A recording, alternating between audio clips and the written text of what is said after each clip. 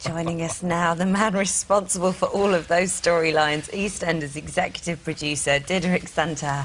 Hello. Hi, hi. Gosh, how do you sleep at night with all those storylines going through your head? You must be going, whoa! It's hard sometimes, yeah, all those different things, all those different characters, keeping all those different balls up in the air. But um, no, I loved that package and it just reminded me what. Yeah, a, it was a big year a, last what year. What a great year we had, yeah. And what, yeah. what a great Christmas and New Year as well. Well done for the Christmas Day ratings. Thank you. Peaked at 11.9 million people. So I understand. Yes, so yes, I it did. I know that because I was on the other side at the time. yeah, sorry.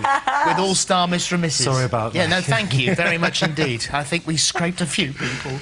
Um, because great stories, big stories, and the culmination of big stories as That's well. right. On Christmas Day, uh, by that point, every single character in the whole of Walford hated Archie, Archie Mitchell and wanted to see him dead. And uh, it, it, someone killed him on that day. We don't know who.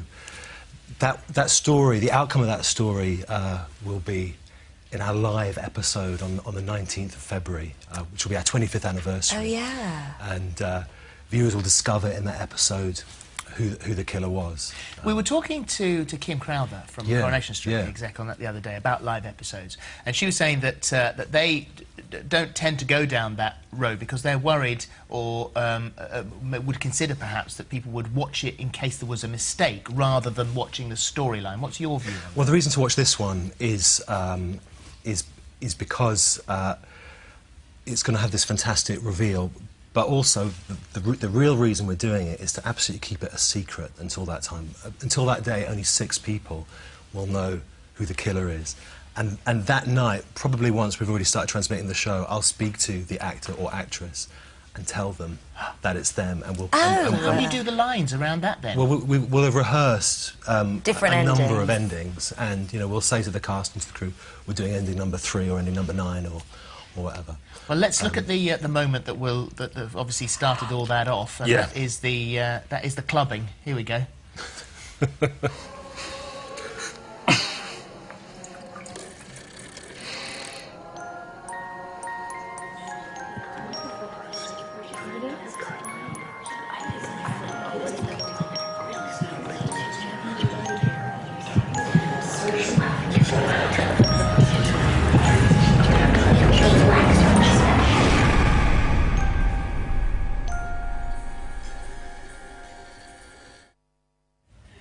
And you didn't even have the real killer in that scene doing the business. No, we had a stuntman called Lee uh, swinging the uh, swinging the bust. Um, so that's the 19th of February Yeah, yeah. is when the live episode is. Yeah. So we've got to wait until then to find out. you have, but until then, it's for the audience to enjoy all the twists and turns. And there's lots of clues at different points. There's different suspects at the moment, and through the next week, it looks like it might be Ian Beale.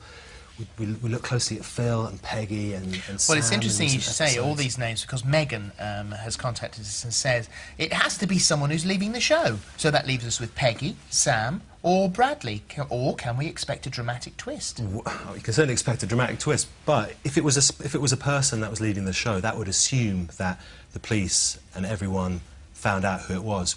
What's to say that, even though the killer will be real, revealed to the audience, what's to say that it will be revealed to the other characters of Walford or to the police? Let's have some Oh. quick fire questions. Yeah, go for it. Uh, Georgie Grindle in um, in Gloucester. I love the online spin-off of E20. It's Oh, great, to see you hitting a younger audience. Is this an ongoing project, and, and will, what will happen to the characters? I really hope so. We've done 12 episodes of this new series, EastEnders E20. It's available online via our website. It's going really well. It started last week. Episode 5 is on tonight. Um, we're hoping uh, we're hoping to do more, um, uh, and it's it's just a different angle on Walford. It's uh, it features a different set of characters, uh, four young characters. It's written by 12, 13, 17 to 2 year olds from, from London, and it's like EastEnders, but no, it's got a different feel. It's based around different characters. It's like a, as I say, it's like a parallel universe show. Okay, we've got an email here from Lucy Horn. She said, please can you tell me if Ronnie and Jack get back together, they are made for each other. Aren't they? I, I think I think they're gorgeous together. They just don't know it, and they've both got so much baggage. Ronnie, particularly, Yeah. all those issues with her dad, with her daughter. I, I think if she could get past those issues and recognise that, just recognise the love of a good man, then I think they'd be fine. But there is another man coming into their lives, their brother. Yeah, that's right. Uh, Danny Mitchell, Roxy and Ronnie's brother that they never knew about. Yeah. Yeah, he appears in the show next week and um, very good-looking young man, nice hairstyle, and Yeah. uh, he's uh, he's uh, he- uh, played by a brilliant young actor called Liam Bergin, and uh, lots of intrigue and excitement between the three of them as they as they get to know each other. Yeah. Um, Okay. Julie from Birmingham, any plans to bring uh, the fantastic Grant Mitchell back in the future? a great character, Grant, much loved, much missed. I think he's in those cat- in the category of characters that the, you know, the audience loves, the show r- remembers, and you know, I'd never say never to, to, to, to, to, to him coming back.